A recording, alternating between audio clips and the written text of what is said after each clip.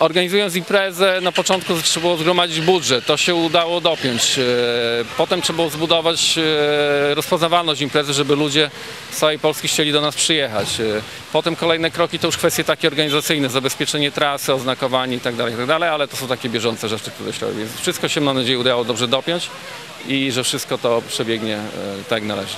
Wcześniej wojna, COVID y, storpedowały przygotowania.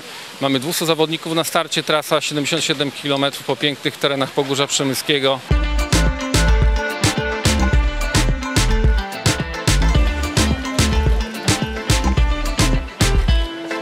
To są jedne z moich ulubionych terenów do jazdy na rowerze. Są przepiękne, mamy świetne nowe drogi i, no, i świetną atmosferę, także czego więcej, czego więcej chcieć. Mam ogromną nadzieję, że coś z tego dobrego wyjdzie długoterminowo. Trasa jest ciężka, co prawda jechałam nią już kilka razy, ale, e, ale jest wymagająca. Liczę na szczęście, jadę z numerkiem 11, jak Kasia nie wiadoma, więc tutaj liczę na szczęście.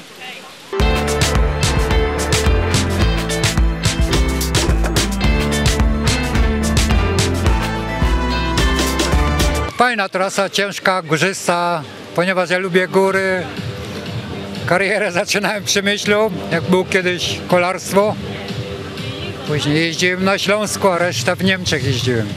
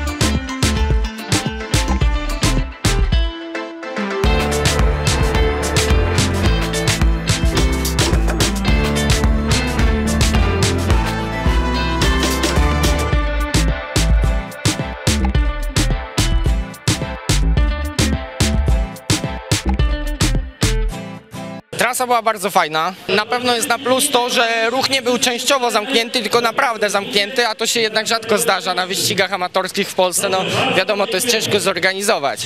Jedynie e, końcówka była bardzo trudna, ten ostatni zjazd, ale no nikt nie powiedział, że będzie łatwo.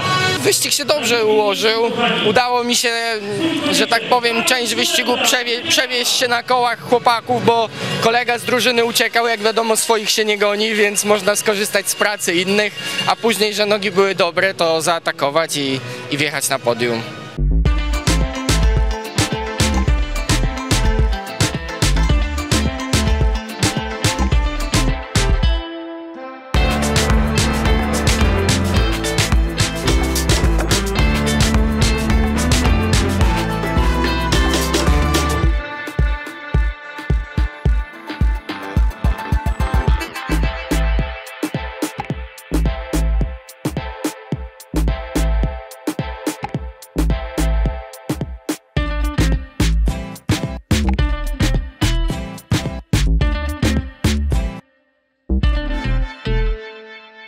Szczerze powiedziawszy, początek, te pierwsze 25 km to, to można powiedzieć góra dół było, tak?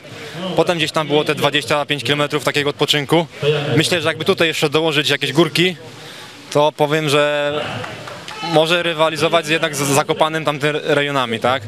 Bo jednak te 25 km to takie było na oddech, a jeżeli by tam włożyć jeszcze jakieś górki, to dość ciężko by było. Niby nie wyglądam na górala, ale jednak po tych górach fajnie mi się jeździ. Właśnie to, co w tych górach jest, jest fajne, że, że można jechać sobie swoje, tak? Na płaskim wyścigu trzeba jednak mieć tam jakąś drużynę, gdzieś tak powiem, ktoś może na kole się uwieść, a góry są takie, że no, no nie oszuka, jednak ten najmocniejszy wygrywa. No nie, nie, da się, nie da się tego oszukać.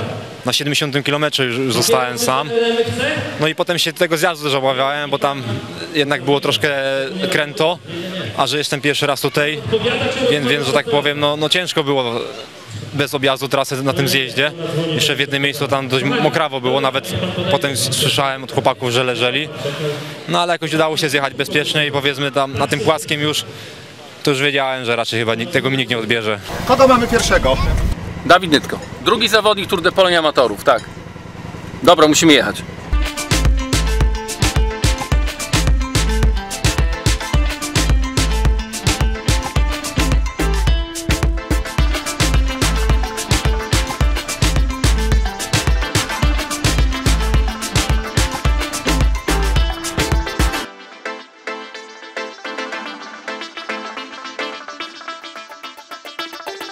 Mam niedosyt, tak naprawdę do ostatniego podjazdu wszystko szło zgodnie z planem, ale Dawid przywalił, odjechał mi, jest to rewelacyjny kolarz, bo był drugi na Tour de Polonia Amatorów, więc sam fakt, że z nim jechałem, to już dla mnie ogromny sukces. Ale mam niedosyt, za rok mam nadzieję, że uda mi się wygrać. A trasa była pode mnie, były strome podjazdy, które znam jak własną kieszeń, bo jeżdżę tu od dzieciaka, także, także było fajnie.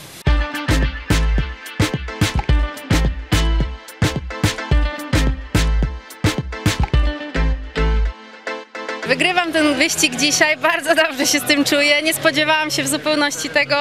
E, przyjechałam tak naprawdę, nie wiem, druga na podium, bo byłam pewna, że będzie moja rywalka, ale udało mi się, udało mi się sama e, to objechać. Oczywiście z pomocą troszkę chłopaków. E, bardzo jestem zadowolona i czuję się silna dzisiaj. Startuję raczej w górskich wyścigach, ale tu było dużo płaskiego.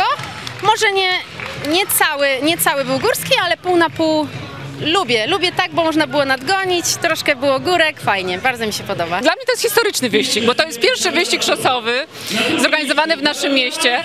Wcześniej brałam udział w wyścigach y, MTB, a to jest pierwszy wyścig szosowy i jeśli mogę, to olbrzymie gratulacje dla organizatorów. To był kawał dobrej roboty, naprawdę kilka miesięcy mozolnej pracy, szukania sponsorów, stresu, także wyścig tworzyli moi przyjaciele. Jestem dumna, że mogłam w małym kawałeczku brać, pomagać w organizacji, w maluteńkim w kawałeczku, ale jestem z tego dumna, także gratulacje dla nich. Naprawdę świetna, świetna sprawa.